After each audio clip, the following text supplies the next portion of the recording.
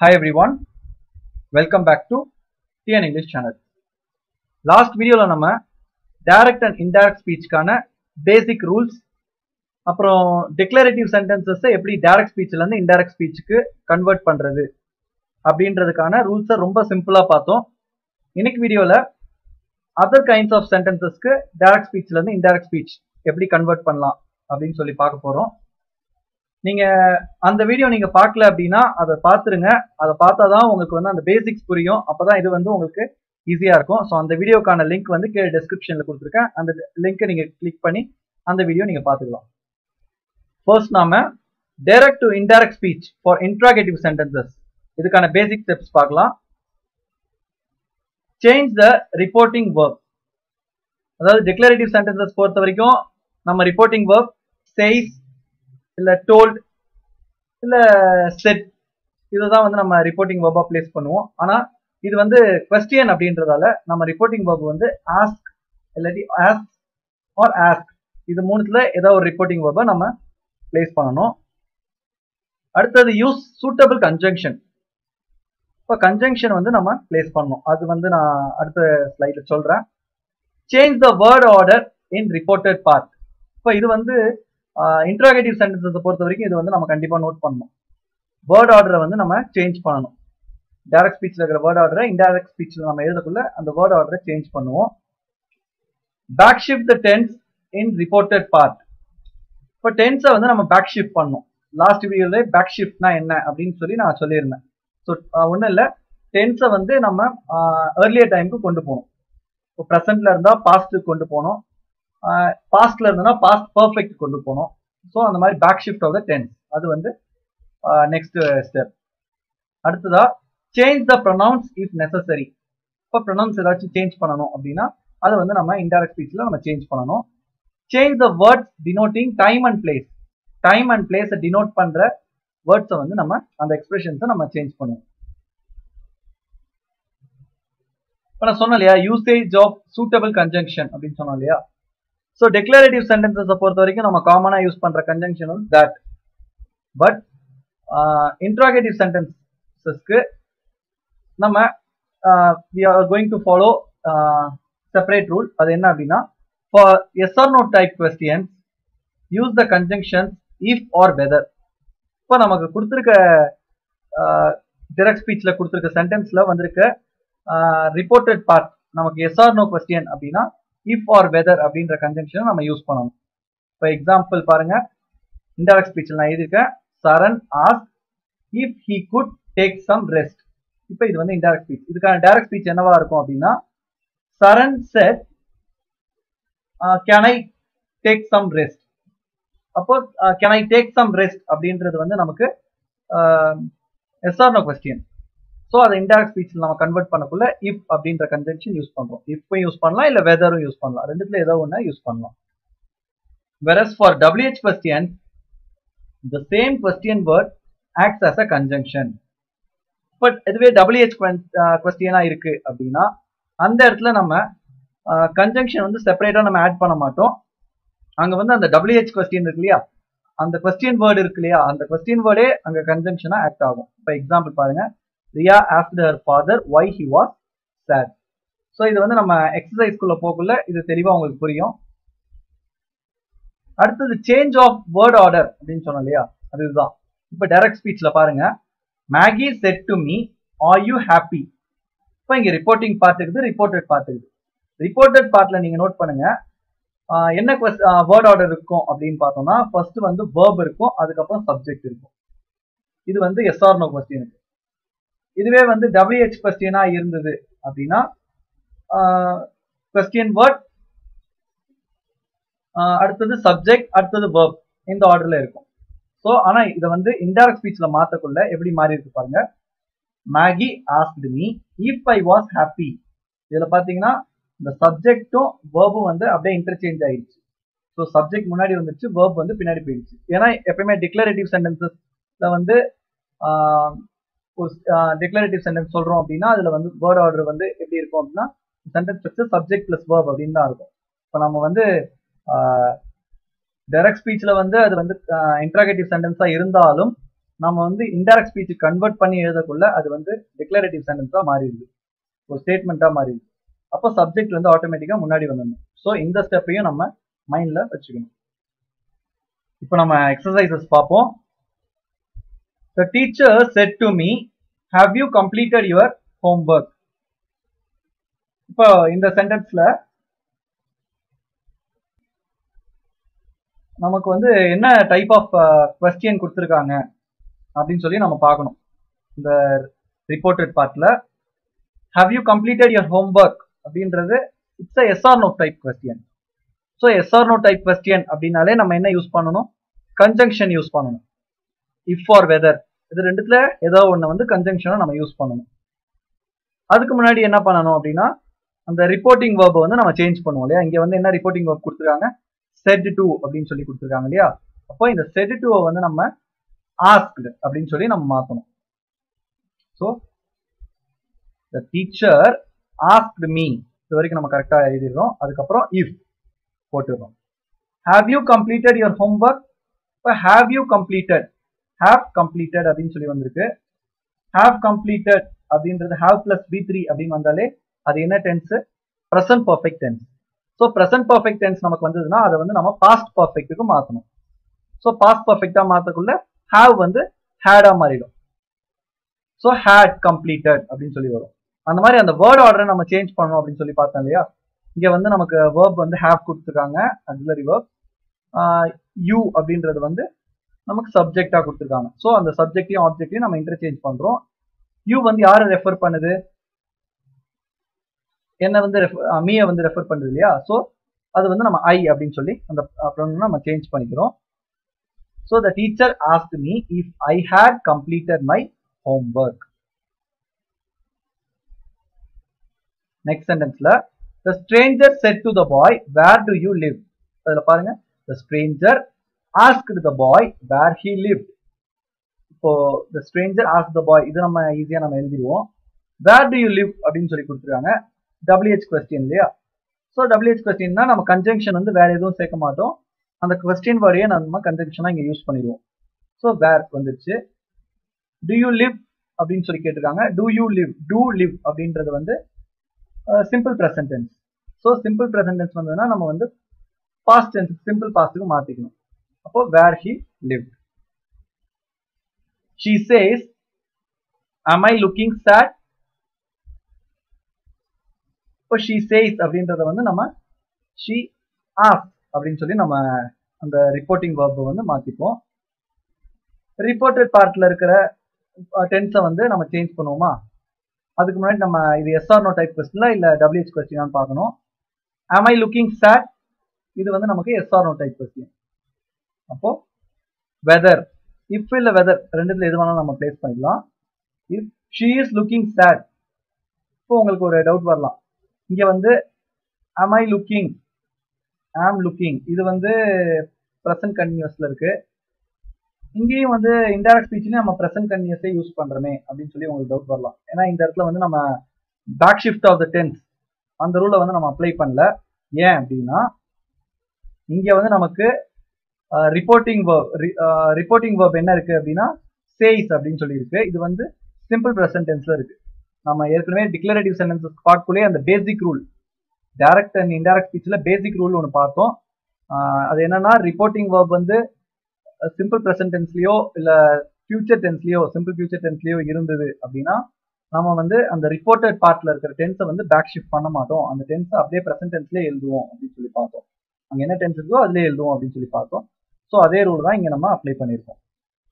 Next one Sheela said to Mala when did you come from Delhi So, Sheela asked Mala when did you come from Delhi இதை வந்து நம்ம எப்படி மாற்றுவோம் when ஏன்னா இங்கே WH கொஸ்டின்றதால அந்த கொஸ்டின் வேர்டையே நம்ம அங்கே யூஸ் பண்ணிக்கிறோம். When did you come did come அப்படின்றது வந்து நமக்கு சிம்பிள் பாஸ்டன்ஸ் அப்போ சிம்பிள் பாஸ்ட் டென்ஸ்ல கொடுத்தாங்கன்னா நம்ம பாஸ்ட் பர்ஃபெக்ட்டுக்கு மாற்றணும் அப்படின்னு சொல்லி பார்த்தோம் இல்லையா?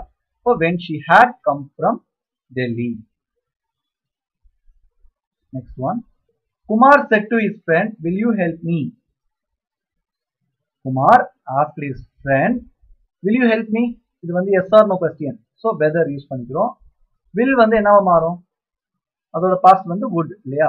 So whether he would help him so இந்த மாதிரி தான் நம்ம வந்து டைரக்ட் ஸ்பீச்லேருந்து இன்டைரக்ட் ஸ்பீச் இன்ட்ராகேட்டிவ் சென்டென்சஸ் நம்ம சேஞ்ச் பண்ணணும். Next one direct to indirect speech for imperative sentences imperative சென்டென்சஸ்னா என்னென்ன கமாண்ட் இல்லை ரெக்வஸ்ட் இல்லை அட்வைஸ் இதெல்லாம் வருது இல்லையா? இதெல்லாம் வந்து நம்ம இம்பரேட்டிவ் சென்டென்சஸ்னு சொல்லுவோம். இப்போ இம்பரேட்டிவ் சென்டென்சஸ் வந்து எப்படி நம்ம டேரக்ட்ல டேரக்ட் ஸ்பீச்ல இருந்து இன்டைரக்ட் ஸ்பீச் மாற்றணும் அப்படின்னா அதுக்கான five basic steps first one change the reporting verb இங்கேயும் வந்து ரிப்போர்ட்டிங் வேர்பை சேஞ்ச் பண்ணணும். அதில் வந்து நம்ம எப்படி இன்ட்ராகேட்டிவ் சென்டென்ஸ்க்கு ஆஸ்க்கு ஆஸ் ஆஸ்க்டு அப்படின்னு சொல்லி மாற்றணுமோ அதே மாதிரியே இங்கே வந்து அங்கே என்ன கான்டெக்ட் அது என்ன மீனிங் கன்வே பண்ணுது அப்படின்றதுக்கு ஏற்ற மாதிரி ஆர்டர்ட் இல்லை அட்வைஸ் இல்லை ரெக்வஸ்டட் அப்படின்ற ரிப்போர்ட்டிங் வேர்ப் வந்து நம்ம ஆட் பண்ணணும். Use to or not to before the reported part இப்போ இதில் வந்து நம்ம கன்ஜங்ஷன் ஆட் பண்ண மாட்டோம். கன்ஜங்ஷனுக்கு பதிலாக டூ இல்லாட்டி நாட் டூ நம்ம பிளேஸ் பண்ணுவோம். அதை வந்து உள்ள கொடுத்துருக்க கமாண்ட் வந்து ஒரு பாசிட்டிவ் சென்டென்ஸ் அப்படின்னா டூ ஆட் பண்ணுவோம். நெகட்டிவ் சென்டென்ஸ் அப்படின்னா நாட் டூ ஆட் பண்ணுவோம். அதாவது ப்ராஹிபிஷனுக்கு நாட் டூ போடுவோம். Change the pronouns if necessary so இது வந்து ஜென்ரலாக நம்ம டிரெக்ட் ஸ்பீச்லேருந்து இன்டெரக்ட் ஸ்பீச்சில் எப்பயுமே நம்ம மாற்றக்குள்ள அந்த ப்ரொனவுன்ஸ் வந்து சேஞ்ச் பண்ணுவோம். ஸோ அந்த ரூலை ஃபாலோ பண்ணிக்கணும். இதில் முக்கியமாக நோட் பண்ண வேண்டியது என்னன்னா don't change the tense in the reported part இது ரொம்ப முக்கியம். இம்பரேட்டிவ் சென்டென்சஸை பொறுத்த வரைக்கும் நம்ம அந்த back shift of the tense வந்து அப்ளை பண்ணவே மாட்டோம். டென்ஸை சேஞ்ச் பண்ணவே மாட்டோம். டென்ஸ் வந்து சேஞ்ச் ஆகாமல் அப்படியே இருக்கும். இம்பரேட்டிவ் சென்டென்சஸ் பொறுத்த வரைக்கும். Change the words denoting time and place so அந்த டைம் அண்ட் பிளேஸ் டினோட் பண்ணுற எக்ஸ்பிரஷன் அட்வர்ப்ஸ் வந்து நம்ம சேஞ்ச் பண்ணுவோம். இப்போ எக்ஸசைசஸ் பார்க்கலாம். ஆக்சுவலாக டைரக்ட் டு இன்டைரக்ட் ஸ்பீச்சில் இம்பரேட்டிவ் சென்டென்சஸ் கொடுத்துட்டாங்க அப்படின்னா இது ரொம்ப ரொம்ப ஈஸி ஏன்னா நம்ம வந்து டென்ஸையும் சேஞ்ச் பண்ணவே தேவையில்லை. அப்படியே டைரக்டா ஆன்சரை வந்து ஈஸியாக எழுதிடலாம். இப்போ இந்த எக்ஸாம்பிள் பார்ப்போம். The judge said to the culprit don't tell a lie இப்போ இங்கே ஜட்ஜ் அப்படின்னு சொல்லி கொடுத்துருக்காங்க ஜட்ஜ் வந்து என்ன பண்ணுவார்? கல்பிரிட்ட சொல்றாரு. நம்ம கொஞ்சம் இதை திங்க் பண்ணணும். டோன்ட் டெல் அ லை அப்படின்றது என்னது? பொய் சொல்லாத.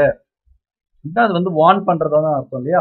ஸோ இங்கே வந்து நம்ம ரிப்போர்ட்டிங் ஒர்க் வந்து வாண்ட் அப்படின்ற வேர்டை நம்ம யூஸ் பண்ணலாம். The judge warned the culprit don't tell a lie அப்படின்னு கொடுத்துருக்காங்க. நான் சொன்ன மாதிரி இது வந்து ஒரு நெகட்டிவ் சென்டென்ஸ் இல்லையா? டோன்ட் அப்படின்னு ஆரம்பிச்சிருக்கு இப்போ டோன்ட் அப்படின்னு வரதால நம்ம நாட் டூ அப்படின்னு போட்டுக்கிறோம். டெல் அ லை நான் சொன்ன இல்லையா? டென்ஸ் நம்ம சேஞ்ச் பண்ண மாட்டோம். ஸோ அதை அப்படியே நம்ம எழுதிக்கிறோம். Not to tell a lie இவ்வளோதான் next sentence the teacher said keep quiet இப்போ டீச்சர் என்ன பண்ணுவாங்க? ஆர்டர் பண்ணுவாங்க இல்லையா? So the teacher order the students to keep quiet இப்போ இங்கே பார்த்தீங்கன்னா இந்த ஆப்ஜெக்ட் வந்து கொடுக்கவே இல்லை. யாருக்கிட்ட அந்த டீச்சர் சொன்னாங்க அப்படின்னு நீங்க வந்து டைரக்டா கொடுக்கல. ஆனால் நம்ம வந்து யார்கிட்ட சொல்லிருப்பாங்கன்றத நம்ம யோசிச்சு நம்மளா வந்து அதை இன்க்ளூட் பண்ணிக்கணும். இந்த ஸ்டூடெண்ட்ஸ்ன்றத நம்மளா வந்து இன்க்ளூட் பண்ணிக்கணும். The teacher order the students to keep quiet next sentence doctor said to me take your food in time doctor advised me to take my food in time இப்போ இங்கே வந்து இதை வந்து take your food in time அப்படின்றது ஒரு advice இல்லையா? So இங்கே advised அப்படின்ற ரிப்போர்ட்டிங் வேர்ட் நம்ம யூஸ் பண்ணுறோம் my friend said to me please help me இது வந்து ரெக்வஸ்ட் இல்லையா? அப்போ my friend requested me to help him இந்த ப்ளீஸ் அப்படின்ற வேர்ட் வருது இல்லையா? இந்த மாதிரி வேர்ட்ஸ் வந்ததுன்னா நம்ம வந்து அதை ரிமூவ் பண்ணிடணும். ஸோ அதை வந்து நம்ம இன்டைரக்ட் ஸ்பீச்சில் நம்ம எழுதக்கூடாது. The principal said to the students, don't take leave. So the principal instructed the students not to take leave.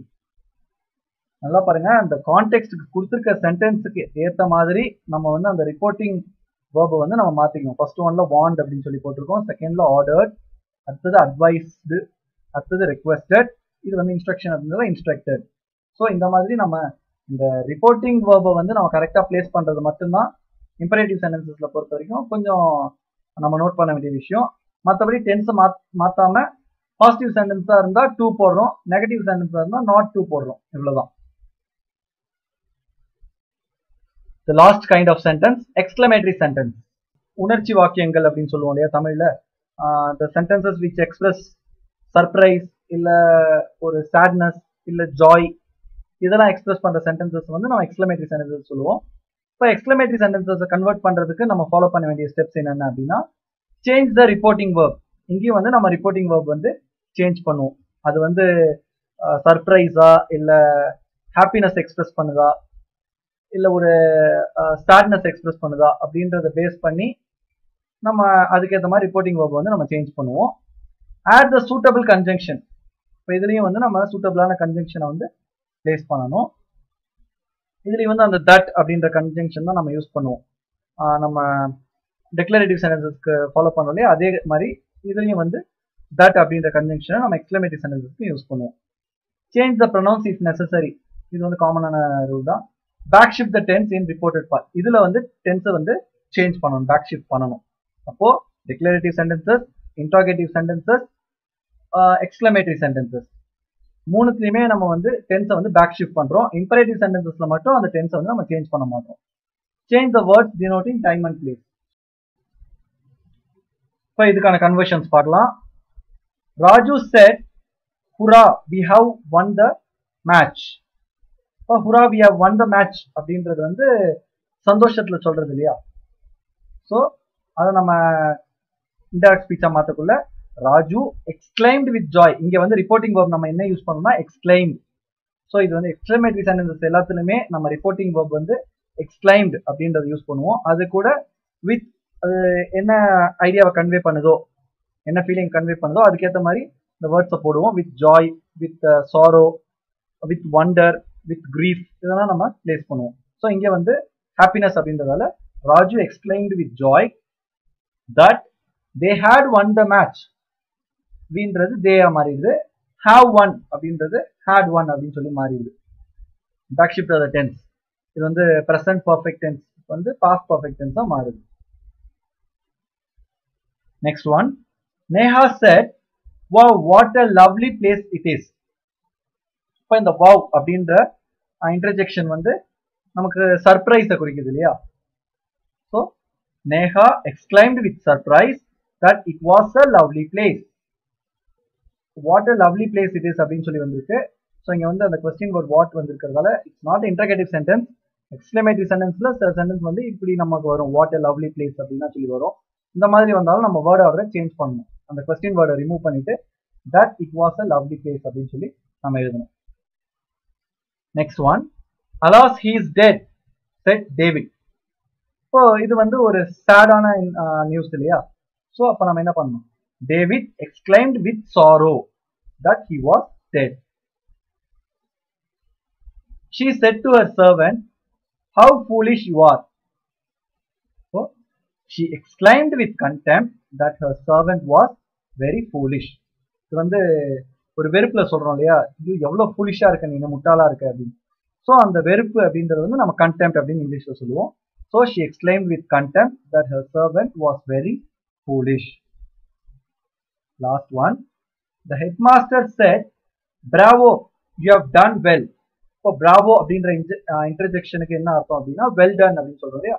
அதுதான் bravo so the head master applauded him saying that he had done well இதை வந்து head master exclaimed that அப்படின்னு கூட போடலாம். Exclaimed with Joy அப்படின்னு சொல்லலாம். ஆனால் இது வந்து வெல்டன் அப்படின்னு சொல்றது வந்து அப்லாட் இல்லையா? அப்லாட் பண்றது.